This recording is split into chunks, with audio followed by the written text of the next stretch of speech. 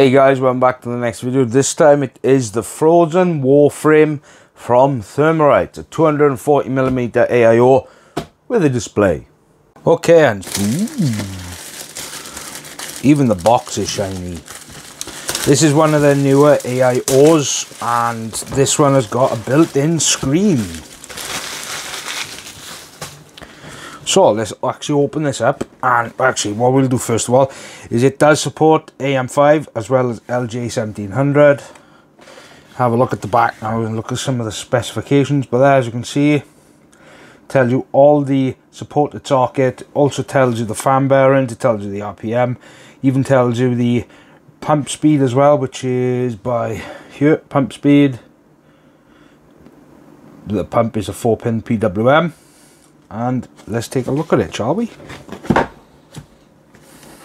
Let's have a look. Now this has just come, so you guys will see it when I've just seen it. Of course, it's going to come with all this mounting brackets, everything, even, ooh, a Type-C. I'm assuming that's a USB 2, so that's for the screen. So it runs through USB 2 then. And of course comes with all the bracketry, the standoffs, the all the things you'd need for AMD and AM5, as well as uh, uh, in, Intel and AMD, sorry. Okay, so let's get the look first look at this, shall we? Oh.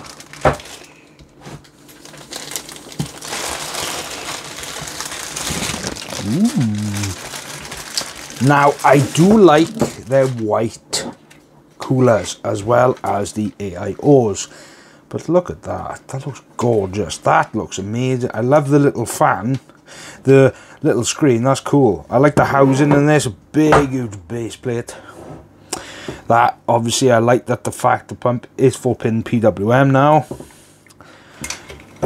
So that's where the USB-C goes to. Then of course then it's got these fans, which are one of their newer fans. And it's pre-installed, comes with these little cable ties for the AIO. So what I'm going to do now is get this into the system and do some actual testing.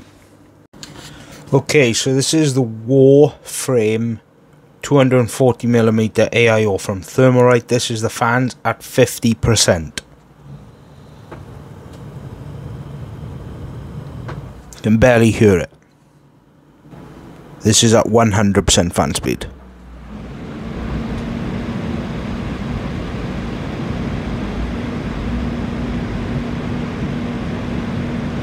Yes, you can definitely hear it now. Okay then, so this is the actual Warframe display. Now it is 2.4 inches. It's an LCD display. It does allow to have some sort of flexibility when it comes to the overall monitoring. As you can see, you can do the uh, the date, the time, the year, the day. Uh, you can do CPU temp, GPU temp. Now, on the actual software, what I'll do is I'll put a overlay here so you guys can actually see what it looks like. It's got 10 different themes, but five are only animated. This is actually number six, the animations, and it's that fast.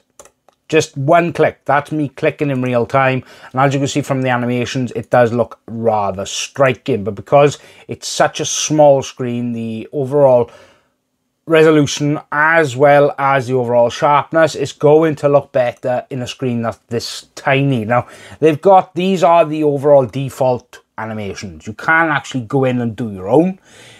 You can actually change basically everything. You can change it for from 24 hours to 12 hours. You can change it to the date, the time. The, you can put day, month, and year instead, or just day and month. You can adjust the overall color.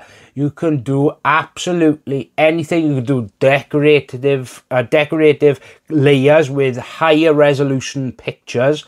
And then, of course, then you can also do a background. You can put your own image, uh, GIF. Then there's a screen projection, which will actually project the overall desktop on your on the computer and it will just show it. Watch. Easy. See?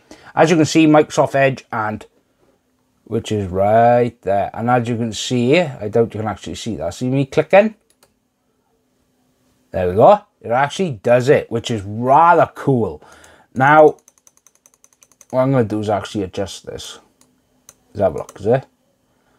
Will this actually change? Oh, wait, let me have a look. 100, let's just have a look. Oh, it does. Okay, so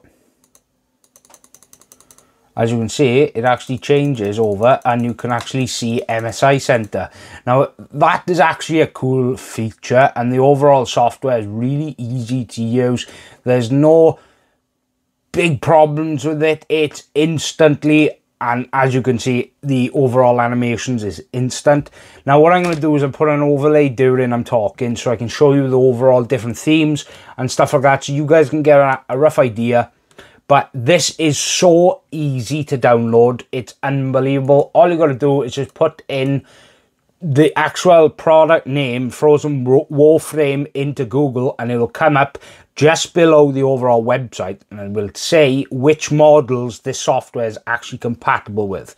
And also, this is cool too. It's removable. All it is is held by magnets and of course it's got a Type-C and then it goes down to a USB 2 port.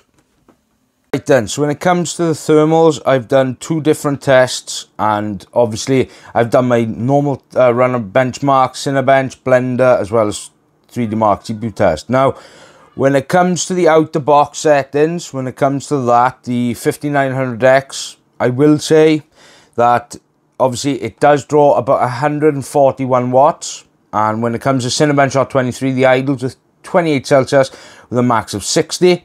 Blender Classroom, the idle to 28 Celsius with a max of 59. Blender Pavilion, the idle to 28 Celsius with a max of 58. And 3D Mark CPU test, the idle 28 Celsius with a max of 63 Celsius. Right, so now this is where I push it a bit. I enable PBO and the CPU was drawing 192 watts at the time during each test. So for Cinebench R23, the idles were 29 Celsius, so that's definitely a degree up, but then that's because the room did start to rise the temperature due to the testing. So the idles were obviously 29 Celsius with a max of 80. Blender cl Classroom, the idle 29 with a max of 76 Celsius. Now, Blender Pavilion, the idles are 29 with a max of 76. And 3D Mark CPU test, the idles were 29 Celsius with a max of 72 Celsius. Okay then, so what did you think? Now you've also, you look, you've seen what comes in the box, you've also seen the overall screen and the overall software. And of course, then you've also seen the thermals. Now yes, it performs well when it comes to under, uh, full load CPU yeah, the temperature is 80 Celsius. That was the highest it peaked, but that's not really high for 5900X.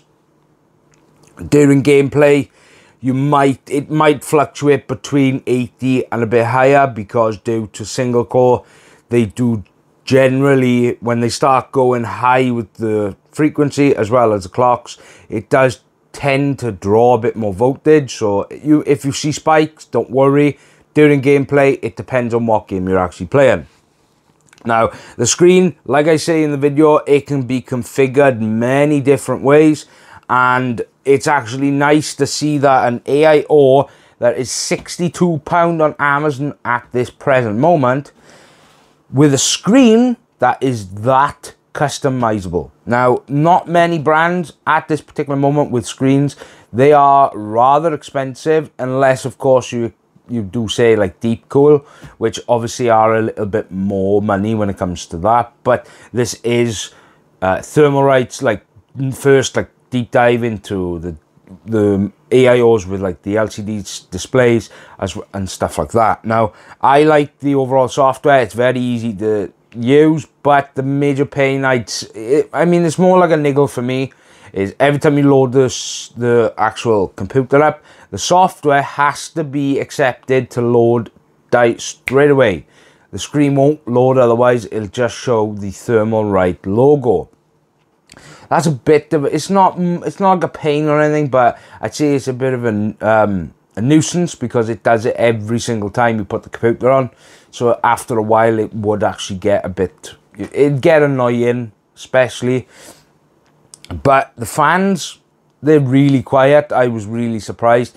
They are starting to go for the more silent, optimized fans now these days, which I'm all for. Their previous AIOs, they sounded like jet planes taking off, so I'm all for it for them going for silent. Of course, when it comes to the mounting, it does support all the latest Intel and AMD sockets, so I wouldn't have to worry about that. When it comes to compatibility, also, they are a lot like Noctua in uh, some ways. They do like to support all platforms, so at least you wouldn't have to worry if you are on a maybe a one or two gens previous when it comes to Intel or AMD. At least you wouldn't have to worry. But what I'd say for £61, I think it's a good value. And of course, if you know anything about the channel when it comes to CPU coolers and, stu and stuff like that, their CPU coolers are the best bang for your buck coolers on the market. And I think that when it comes to AI AIOs, especially with ones with display, I honestly think these guys are going to go up against Thermaltake. Uh, there's obviously Deepcool, there's there Lee Lian Li, there's Asus, there's loads of different brands, Gigabyte, there's loads of different brands, and I think them coming in at a good price point, I think that is the way to go. Now, as for this week, I will be attending TechMax, so make sure that you follow me on Facebook as well as subscribe to the channel because I will be uploading some things on YouTube, but primarily on Facebook as well as some other places. I want you guys to uh, experience that my first ever tech event. So yeah. Don't forget to subscribe to the channel because I've got loads of stuff coming. I've got stuff coming from ASRock. I've got another build uh, also do, as well as I've been in talks with Target Computers. I've been in talks with Seasonic. I've been in uh, talks with Deepcool as well as NZXT. So make sure you subscribe. And as always, I hope you guys have a fantastic week and weekend ahead of you. This is Richard from Welshytech. Good. Bye.